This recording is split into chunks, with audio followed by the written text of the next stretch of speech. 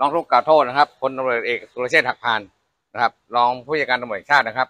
ฐานเป็นเจ้าพนักงานปฏิบัติหน้าที่ไม่ชอบตามมาตรา157นะครับ แล้วก็ฐานนะครับความผิดร่ำรวยผิดปกตินะครับ ตามพรบปปชมาตรา61นะครับ ในกรณีแรกนะครับ เป็นกรณีที่อ่าเจ้าที่นะครับตำรวจนะครับ ได้มีการนำหมายค้นนะครับ ไปค้นบ้านห้าหลัง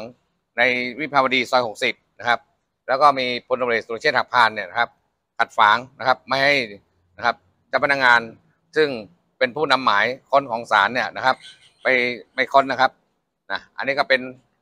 เรื่องแรกที่เป็นความผิดตามมาตรา157 นะครับ เรื่องที่สองเนี่ยท่านพลเอกสุรเชษฐ์หักพานนะครับ ได้มีการบอกว่ามีการให้เงินนะครับลูกน้องนะครับ เดือนละล้านบาทนะครับ ซึ่งเงินตรงเนี้ยนะครับ ไม่มีที่มาที่ไปนะจึงมาร้องขอให้ทางปปนะครับดำเนินการตามพรบปปชมาตรา 61 นะครับ อันนี้เป็นเรื่องของ อ่าพลเอกสุรเชษฐ์หักพานนะครับ